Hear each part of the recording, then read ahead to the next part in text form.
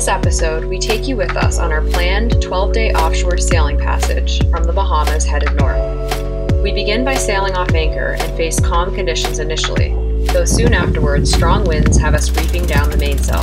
As we navigate the Gulf Stream, we spend time considering our route options and evaluate conflicting weather models. And as the days tick by, we begin to experience issues with a critical piece of equipment our autopilot. We eventually have no choice but to heave to and tear it apart. That's when things go from bad to worse. We are actually planning to sail off anchor today.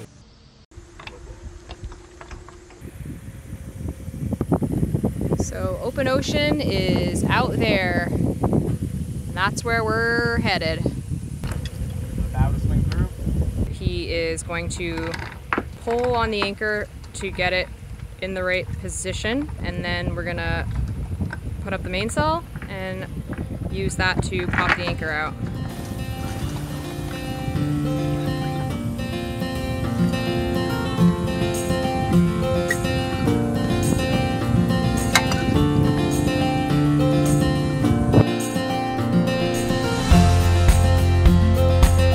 Nice work.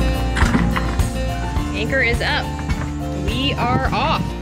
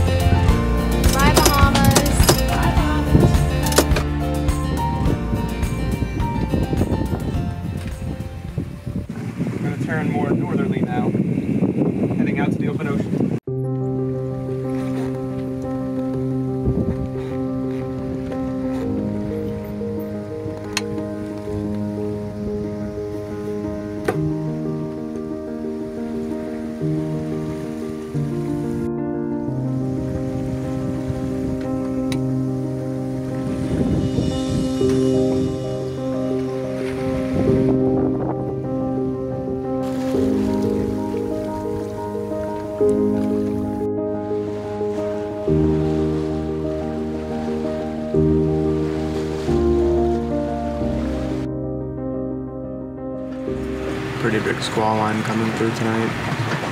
Uh, we just have a full main no jib right now. Rolled in a jib to weather it. That's why we're going so slow. Uh, a little bit north of Bahamas right now. Still very tropical and squally out here. Good morning. It is the second day of our passage, I guess, 25 hours now. 25 hours. One hour first. It's that period where you're just kind of trying to adjust to the motion, and we are looking at the weather. The Euro-based, Euro weather model based, which is these two, the red and yellow, versus the American based, are kind of having a split either northwest or northeast. Looks like half of them are telling us to go one way, and half of them are telling us to kind of go the other way. So when's the next weather download? That's 2.4 hours.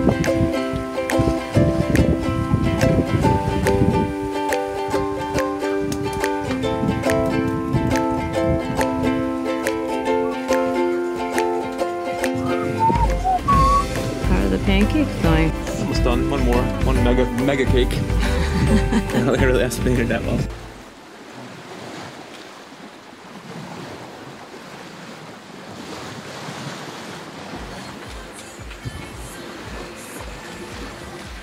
Journaling? Yeah, Keeping a logbook for us? yeah, keeping a log of everything relevant. Like the book I'm reading right now, for fish. There's your cod. I drew a cod in my journal last night. Bacalhau, as they say in Portugal. Oh yeah, I forgot about that word.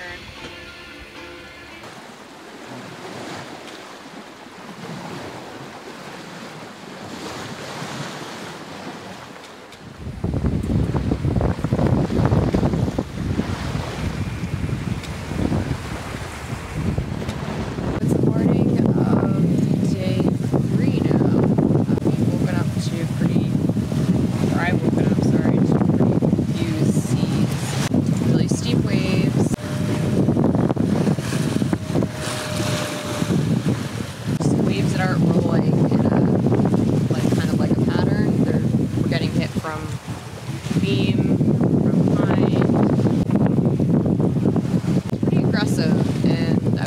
used to the motion yesterday, and I'm finding that I'm seasick again today.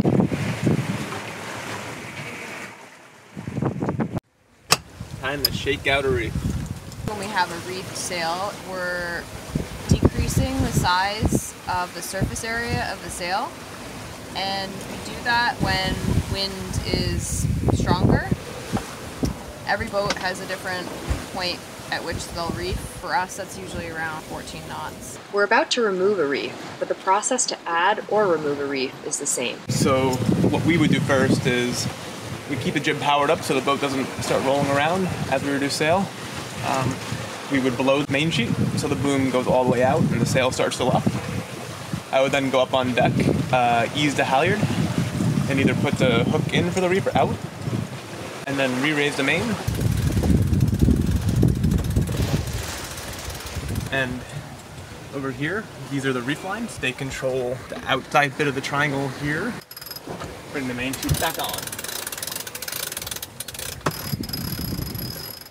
We're having difficulties figuring out where we should go right now. As you can see, the models are pretty split as to which direction we should go. Gulfstream is over here. You can see this south flowing wind versus a north going current, which will create chop. These three models, per the computer, would say it would be faster technically, but it would not be comfortable. Um, so I think we're going to pick an intermediate waypoint over here that's out of the Gulf Stream. Um, and we'll probably have to motor something to get there through there. But yeah, I think that's what we're going to do to be safe.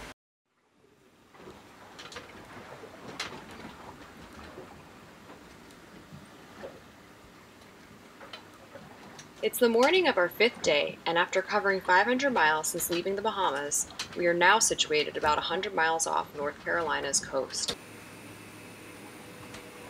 I couldn't get the break that time. Okay.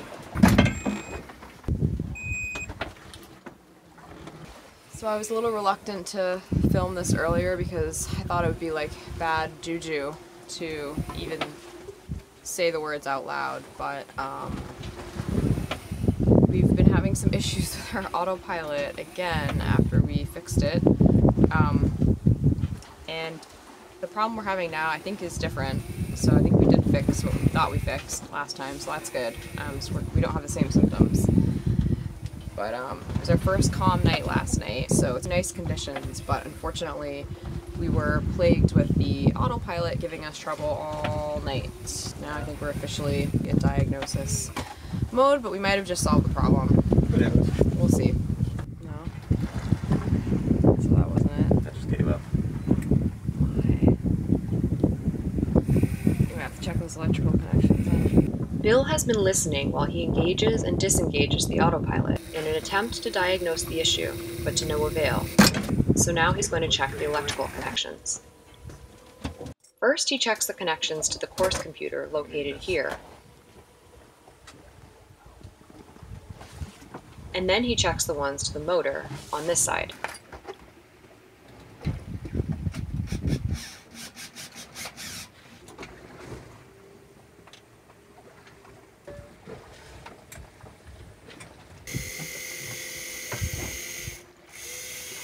Unfortunately, what we thought might have worked didn't work.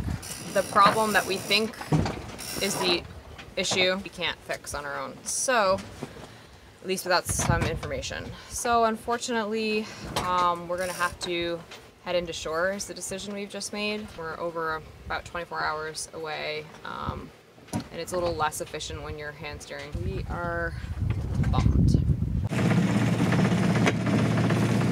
It's about half an hour later, and I'm just hand steering, um,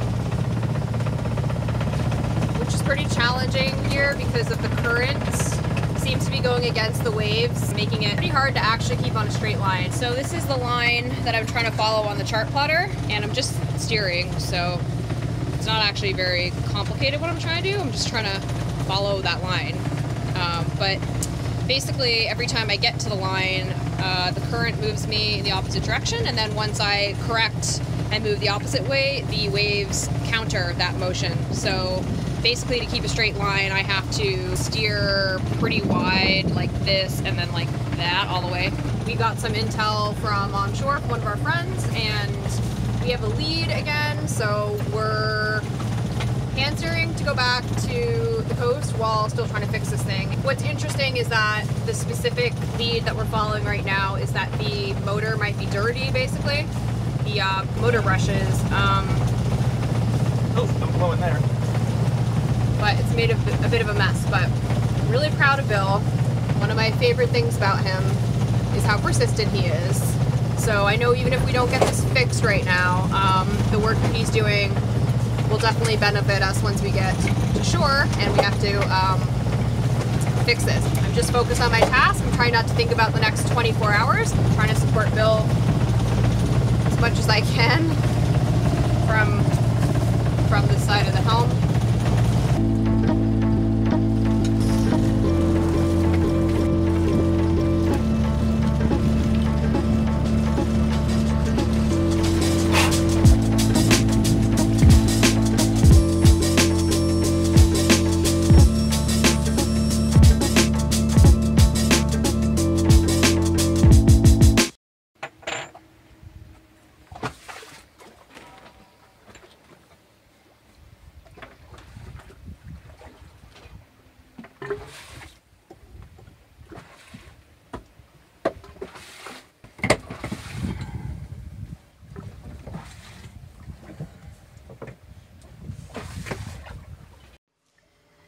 So it is about six or seven hours later now, and we're gonna heave to tonight and get some sleep.